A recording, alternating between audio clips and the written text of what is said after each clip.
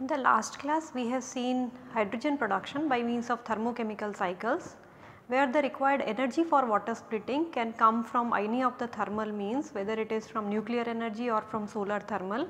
And the hydrogen is being produced by splitting up of water by means of cycles where certain chemicals they undergo a series of steps finally producing hydrogen and oxygen. Today we will look at electrolysis of water.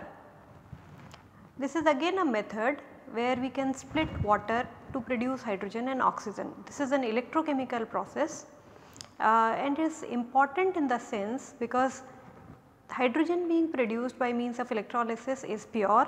It can be about 99.999 percent pure as well depending upon the technology used and it is a mature technology.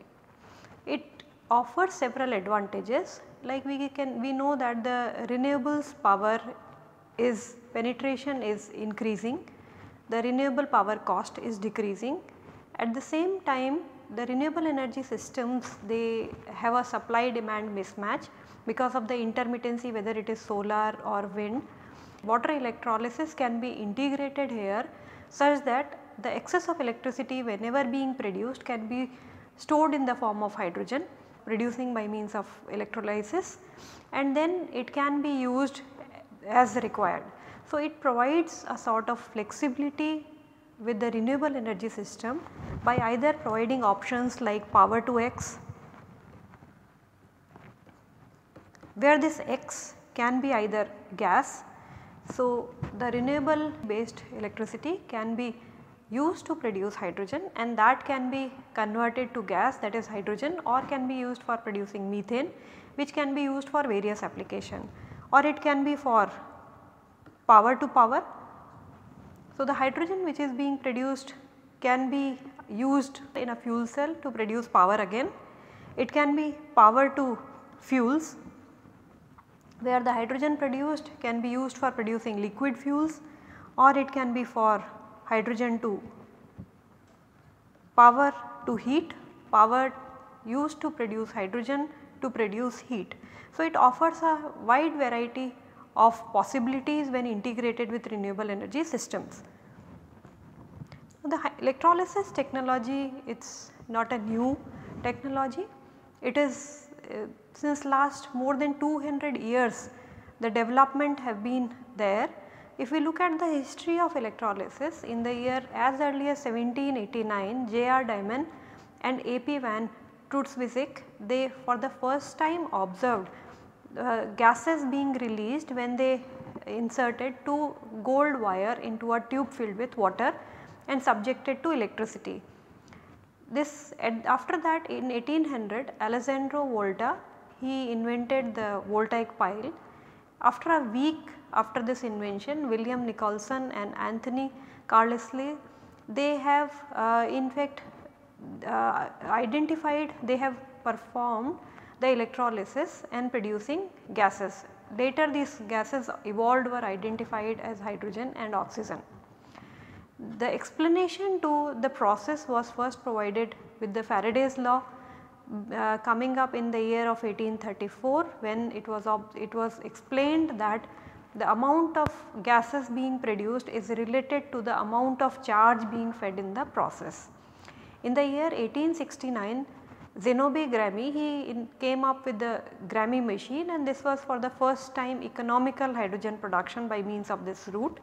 In the year 1888 Dmitri Lachinov he for the first time he came up with the industrial scale hydrogen production using an electrolyzer and this was about by 1902 that more than 400 industrial water electrolyzers were in operation. So, it is said that the 1920 to 1970 was a sort of golden period in the development of electrolysis technology where the most of the components, most of the technology they were invented and they evolved during this period uh, their components they came into picture in this particular duration. In 1939 the first large scale electrolysis plant it was commissioned and this had a capacity of 10,000 normal meter cube of hydrogen produced per hour. In 1948 the first alkaline water electrolysis uh, was performed by the Lurgi plant came into picture. Then 1966 the polymer electrolyte membrane based electrolyzer this was first being commissioned by the General Electric and it was in 1978 the solid oxide electrolyzers they were being considered for electrolysis of water. So, there were several large scale installations even as early as 1900 early 1900s like about 100 megawatt in Canada uh, electrolyzer plant was installed then Aswan they installed 144 electrolyzers with a capacity of 162 megawatt and that could generate 32,400 normal meter cube of hydrogen per hour. ABB the Asea Brown Boveri they developed modular electrolyzers that could produce hydrogen of capacity 4300 normal meter cube per hour. So, the technology weighs back to more than 200 years, but it was when uh, the production of hydrogen started from hydrocarbons like steam reforming or coal gasification, then this process of electrolysis was the interest in it declined. The reason was the process from uh, hydrocarbons hydrogen production that was economical, was energy efficient. So, the current status is out of the total global hydrogen production a small fraction is by means of water electrolysis roughly 0.03 percent of it is by water electrolysis. There are two major industries which are performing electrolysis like chlor-alkali industry where hydrogen comes out as a byproduct. So, on electrolysis of a aqueous solution of brine get NaOH and chlorine and hydrogen as a byproduct. Also aluminum electrowinning industry uses electrolysis technique. There are various applications of electrolysis of water other than these like metal plating and metal finishing it is being integrated with energy conversion devices, production, extraction, purification of metals, synthesis of various chemicals, water purification systems. So, there are various uh, still the applications of electrolysis of water. Now, in, under, in order to understand the electrolysis of water, let us look at the basics of it.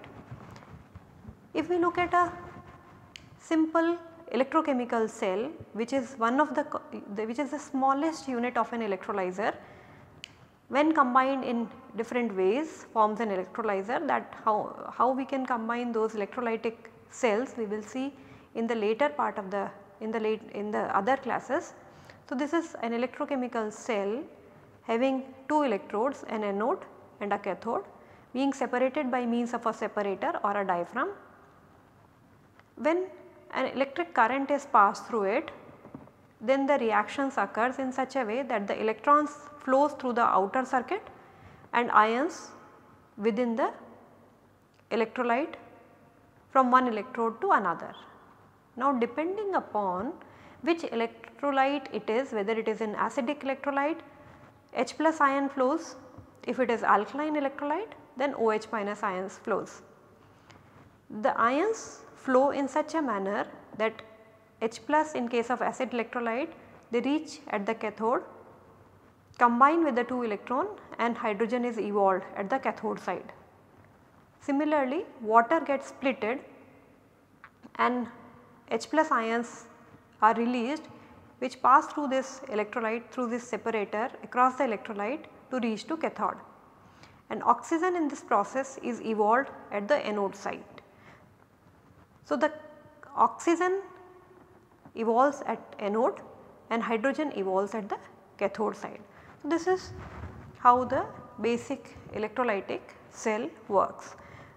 In order to get a idea about the various reactions that occurs, what is the thermodynamics behind the process involved, electrochemical process of the electrolysis, what is the kinetics involved, how the cell performs, what is the efficiency. We will start with the basic understanding of the process. So, fundamentals of electrolysis of water so, the basic reaction we can write is that water in its liquid state dissociates to give hydrogen, gas and oxygen. Now in this step the liquid water which undergoes the dissociation the enthalpy change of the process is 285.84 kilojoule per mole. Now this is highly endothermic. The Gibbs free energy change in the process under standard conditions is delta H minus T delta S where delta S is given by 163.15 this is 163.15 joule per mole Kelvin. So, we can find out the delta G for this process and this comes out to be 237.22 kilojoule per mole. These are under standard conditions. By standard conditions we mean temperature of 298 Kelvin and a pressure of 1 bar which is approximately 1.01 atmosphere. Now we can see that the enthalpy change is highly endothermic as such the delta G is positive thus it is an it is a non spontaneous process.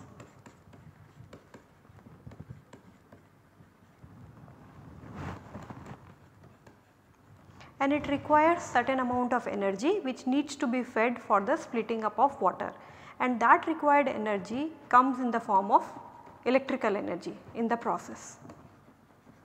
So, when we supply this electrical energy in that case the water splits into hydrogen and oxygen the constituents. Now this is when the splitting up of water occurs when it is in liquid state. Now if it is in vapor state it splits to give hydrogen and oxygen. For this particular process the value of delta H naught is 241.8 kilojoule per mole. Delta S for this process is 44.1 joule per mole Kelvin and delta G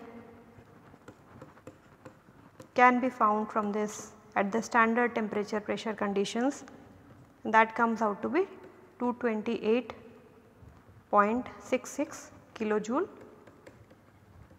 per mole. So, this is when the starting water is in liquid state or if it is in vapor state. The difference between the delta H values for the two states when water is in liquid state to when water is in vapor state and that equals to 44.04 kilojoule per mole and this is nothing but the required enthalpy for vaporization of water.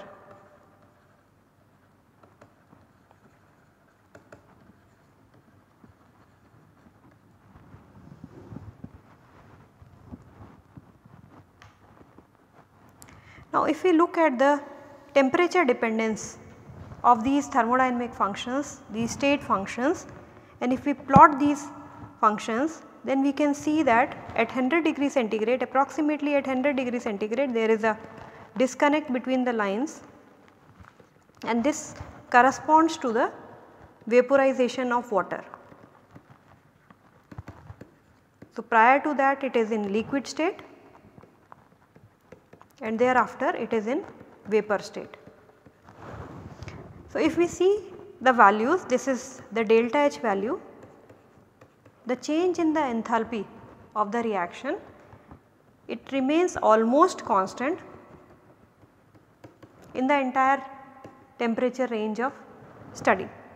So, the enthalpy change which is required for splitting up of 1 mole of water to produce its constituent hydrogen and oxygen this is almost constant throughout the temperature range as the temperature increases till even the 1000 degree centigrade. If we see the value for T delta S, again there is a discontinuity in the beginning that is corresponding to the vapor phase and then this discontinuity this corresponds to the vaporization of water.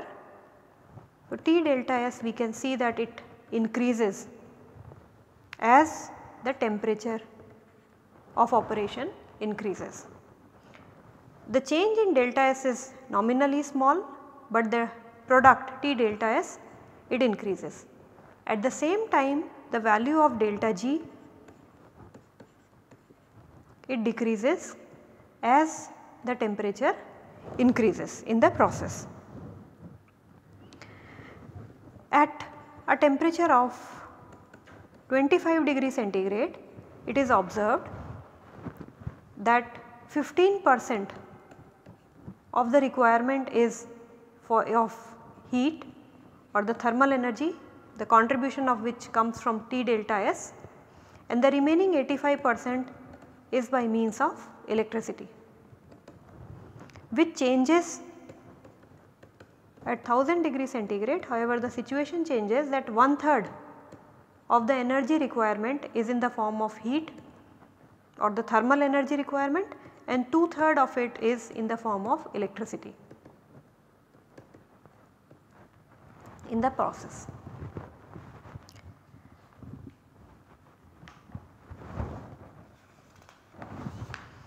Now these equations which we have mentioned they have a temperature dependence. So all these state functions whether it is delta H, whether it is delta S or whether it is delta G they have a sort of temperature dependence. The term T delta S it has temperature dependence and this delta H represents the total amount of energy required to split 1 mole of water.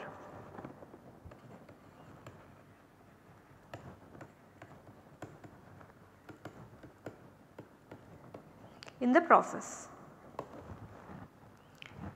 T delta S term requires the total amount of energy, the thermal energy or heat energy which is required in the process while delta G represents the total amount of electrical energy required to split 1 mole of water. So, the total energy wherein certain contribution is from electrical energy and the remaining contribution is from thermal energy. Now what temperature is best for performance of electrolysis can be decided by means of the electrical energy input, how much is the energy consumed, what is the cost which is required for producing hydrogen. So if we look at the low temperature processes, low temperature electrolysis like the polymer electrolyte membrane based electrolysis or alkaline water electrolysis that we will see in more detail later. For low temperature electrolysis roughly the energy requirement is about 4 to 6 kilowatt hour per normal meter cube of hydrogen being produced. While for high temperature electrolysis this energy demand is about 3.6 kilowatt hour per normal meter cube of hydrogen being produced. So, this is for solid oxide electrolyte electrolyzer or this is for PEM or water alkaline water electrolyzers. So, we can see that high temperature electrolysis has advantage of lower electricity requirement.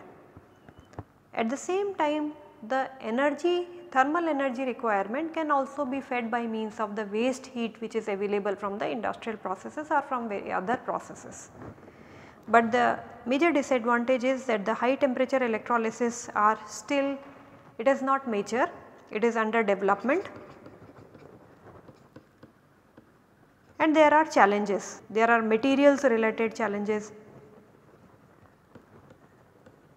The operation at such high temperatures and there are certain technical challenges like when we are using pressurized water then the leaks associated leaks with it. So, there are several other challenges that still needs to be considered before the high temperature electrolysis or solid oxide electrolysis could be commercialized. Now let us look at the cell voltages, the reversible and the thermoneutral cell voltages. Now we have seen that delta G, delta S they are the required energies total energy at the same time the delta G is the electrical energy requirement and delta H is the total energy required for water splitting. Certain percentage of it is coming from the T delta S term. Now the process as we have seen delta G is greater than 0 in case of electrolysis. So the process is non-spontaneous and we have to supply the required energy in order to accomplish the decomposition. Now if we see the delta G value under standard conditions this is NFE.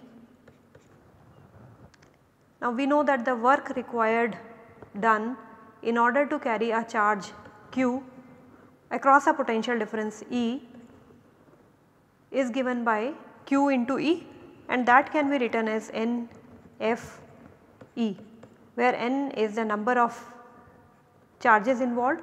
So, here it is the number of electrons involved in the process, number of electrons transferred occurring during 1 mole of water splitting, F is the Faraday's constant.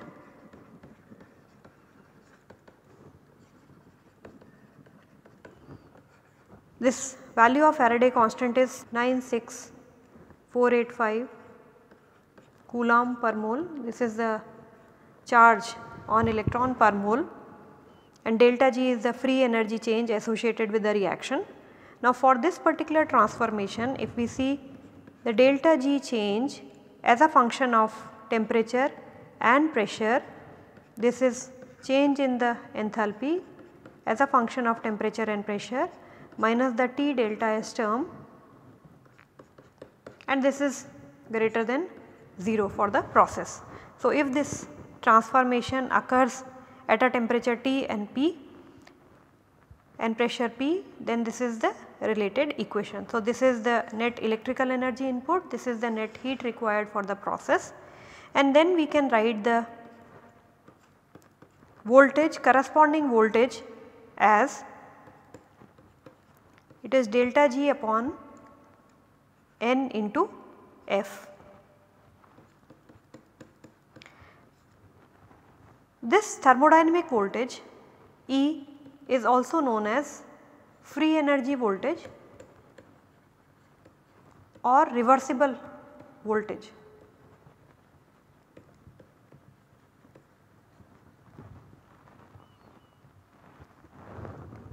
Similarly, we can write for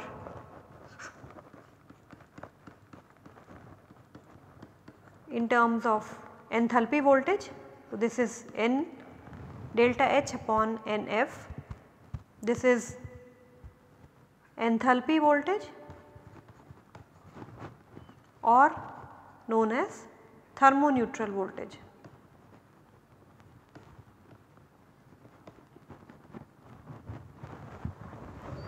Now, if we represent the cell voltage for an electrochemical cell by U then in that case it has if we relate that with E and V. So, if this is the cell voltage, if the cell voltage is less than the reversible voltage or the free energy voltage, in that case the electrolysis will not occur.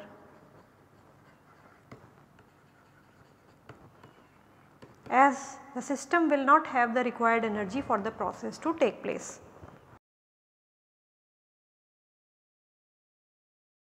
If it the cell voltage is higher than the free energy voltage, but it is lower than the enthalpy voltage,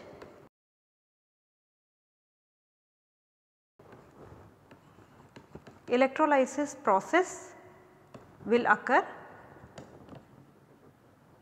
but it will require certain amount of thermal energy and that can be taken from either from the surroundings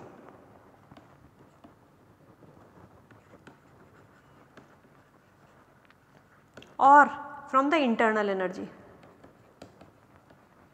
of the cell. And this is not a desired state and as such a cell is not operated under such conditions because the economics does not favor. So, the current density will be very low and it is not desirable to operate in this region. However, when the cell voltage is higher than this voltage V which is thermoneutral voltage or enthalpy voltage, in that case the electrolysis will occur and sufficient current will flow for the process to occur. And at the same time there will be certain heat losses involved. So, the process will start and the heat losses will be there. So, it cannot maintain the isothermicity in the process. Let us even calculate the values for these thermodynamic voltages under standard conditions. Now if we look at the standard conditions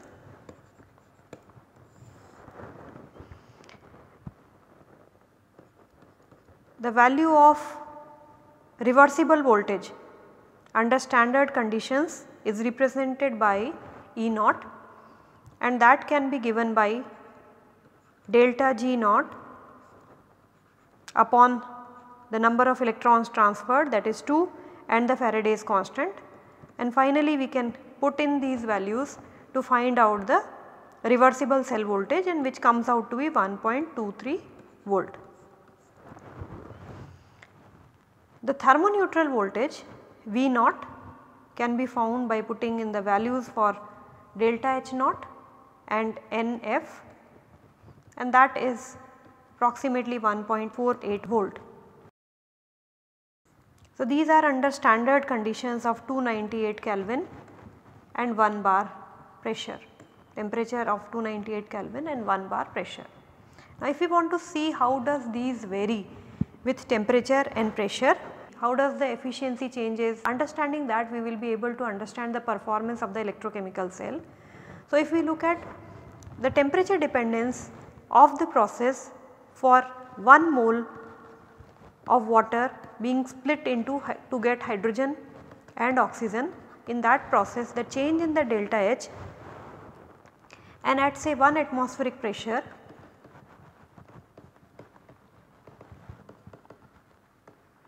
can be obtained as delta H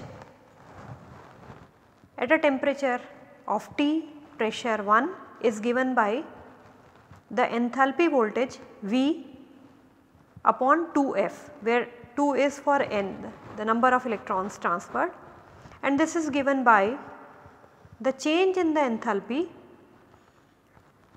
by subtracting the products from the reactant side enthalpy. So, the enthalpy for hydrogen under the same condition for oxygen minus that for water. Same can be done for finding out delta G value which is the reversible cell voltage or the free energy voltage divided by 2F and this is again subtracting Gibbs free energy of products minus that of reactant which is water here. This change in enthalpy for species I where this species can be hydrogen or it can be oxygen can be obtained as there are certain constants A, B, C and E which are given by this table. The coefficients multiplied by the difference in temperatures T minus T naught, T square minus T naught square another factor 1 upon t minus 1 upon t naught and similarly 1 upon t square minus 1 upon t naught square with different coefficients. Now there are different correlations available.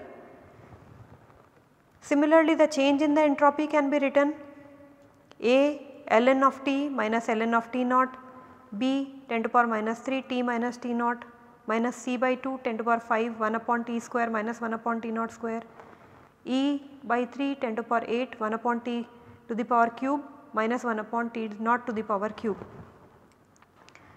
T naught is the reference temperature being considered and this is the table for these coefficients A, B, C and E.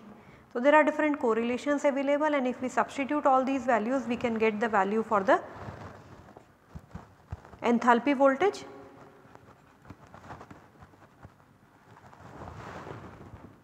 substituting the value of A, B, C and E Similarly, we can get the value for the free energy voltage.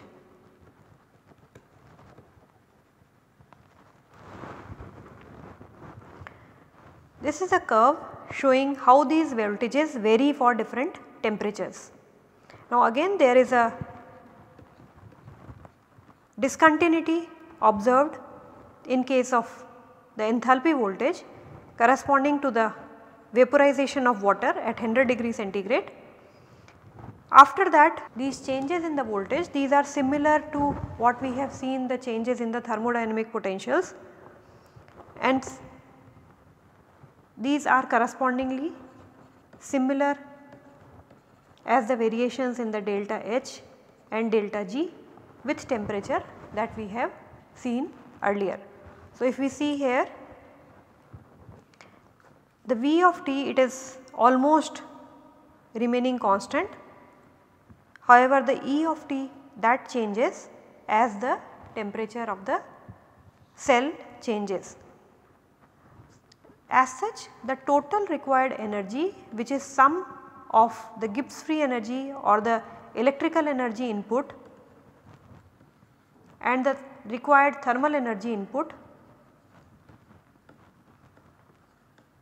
remains almost constant However, if certain amount of energy is fed by means of the thermal energy by the term T delta S then the required electrical energy input reduces as such still the total energy input requires same. This actually has a benefit when we come when we look at the high temperature electrolysis.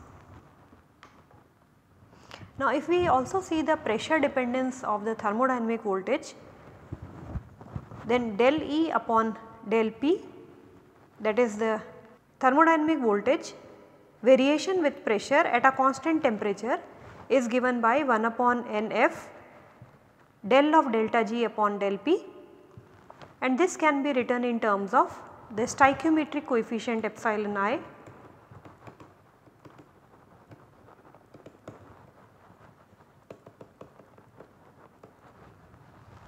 RT upon NF into pressure of species I whether it is hydrogen or oxygen. And this case this can be summed up for the different species whether it is hydrogen or oxygen. So, I is the individual species involved in the process. So, del E upon del Pi at a constant temperature. Now, this can be integrated such that E is equal to E naught plus summation over the species i stoichiometric term RT upon NF, R is the gas constant ideal gas constant at a temperature T N F upon NF ln of Pi upon P naught. Now when we put the different species, when we consider the different species involved both hydrogen and oxygen in the process. So E is equal to E naught plus RT upon NF summed over I ln partial pressure of hydrogen P H2 upon P naught and the stoichiometric coefficient is half. So, P oxygen upon P naught to the power half. Now, in this case let us say if the pressure of hydrogen is P and that is also the pressure of oxygen. So, we can rewrite this expression as E is equal to E naught plus 3 RT upon 4F ln of P. However, if in the process the pressure changes from P1 to P2 then we can write the change in the voltage thermodynamic voltage as 3 RT upon 4F ln of P2 upon P1 and if let us say the initial pressure P1 is 1 bar then we can write the delta E as 3 RT upon 4F ln of P. This can be plotted as the variation at different temperatures let us say the temperature being considered at 25 degree or 100 degree centigrade we can plot this Et as a function of pressure till 70 MPa or 700 bar. We can see that with the increase in temperature the voltage reduces. Now these expressions that we have derived we have considered the ideal gas equation. We can apply ideal gas equation for pressures usually less than 10 bar. However, to get more accurate expressions the state equations needs to be considered and these state equations needs to be applied for higher pressures than 10 bar and then we can get the accurate relationships for the variation of pressure. To summarize this part we have seen the thermodynamics associated with electrolysis. We have seen that the process of electrolysis is a non-spontaneous process where the energy is required for the process to take place which can be supplied by means of electricity. Under standard conditions we have seen what are the different thermodynamic voltages and we have also seen how these thermodynamic voltages they vary with temperature and pressure. In the next class we will see what are the different components involved in the electrolyzer, what are the different barriers to the flow of current and how that affects the efficiency of the electrolyzer. Thank you.